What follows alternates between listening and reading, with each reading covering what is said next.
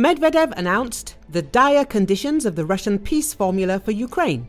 Deputy Chairman of the Russian Security Council Dmitry Medvedev has laid out the details of the so-called Russian peace formula, which would require the capitulation of Ukraine, payment of all due compensations to Russia, and adoption of an act on the reunification of the former territories of Ukraine with the Russian Federation in return for Russia ending hostilities. Medvedev stated that to achieve so-called consensus with the international community, Ukraine must declare complete and unconditional surrender, conduct demilitarization, dismiss all constitutional authorities, and immediately hold elections for a temporary parliament. He also claimed that Western countries recognize the Kiev political regime as a Nazi junta and that there was a need to conduct a forced denazification program encompassing all authorities under United Nations supervision. In addition, the Provisional Parliament of Ukraine will have to adopt a law establishing a procedure for compensation for damage caused to regions of Russia as well as injured citizens and families of dead Russians. In addition, one of the conditions of peace in Ukraine will be the loss of its global